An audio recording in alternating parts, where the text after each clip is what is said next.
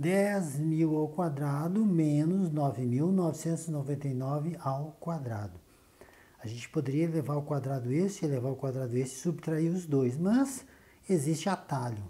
Então hoje nós vamos ver o poder dos produtos notáveis. Qual é a propriedade que eu posso aplicar aqui de produtos notáveis? E aí está a propriedade para quem não se lembra.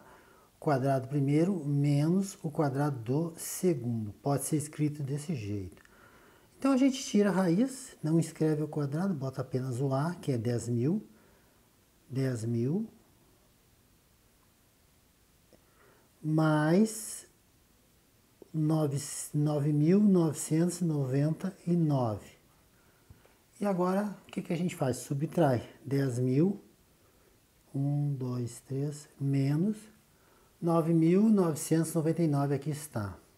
Se eu somar 9 mil mais 10 mil, claro, 9.999, é só colocar aqui embaixo, então, 19.999, porque na soma eu coloco 10 mil e depois eu boto 9.999. E ao somar isso, dá 9, dá 9, dá 9, dá 9, dá 1.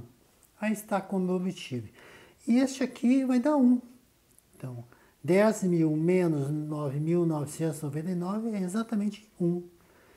E 1 vezes qualquer coisa fica valendo qualquer coisa. Então, o resultado final é 19.999.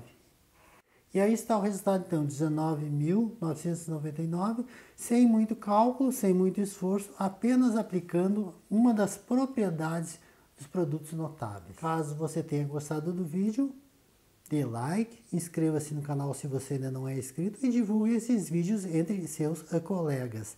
Desde já eu agradeço e conto com vocês.